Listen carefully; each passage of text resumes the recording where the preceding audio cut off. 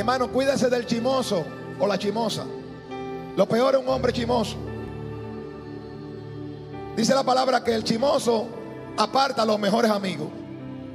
Porque un Jevitray que tiene, un chimoso, te viene hablando mal de otro y dice, no, Pérez. Ahora, ¿usted sabe cómo mata usted un chimoso? Cuando venga con el chisme, dice, no, vamos a buscar al hermano o a la hermana para que tú me lo digas delante de ella o delante de él. No, que espérate, que no, que ven. Entonces te dice una cosa a ti y le dice una cosa a ella para que ustedes choquen.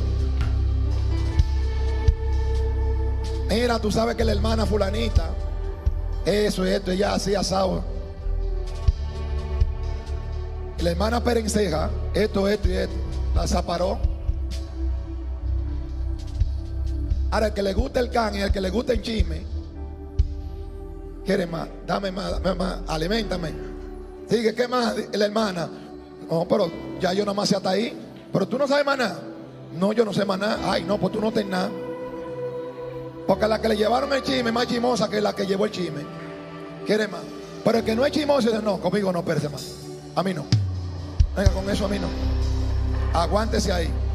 No.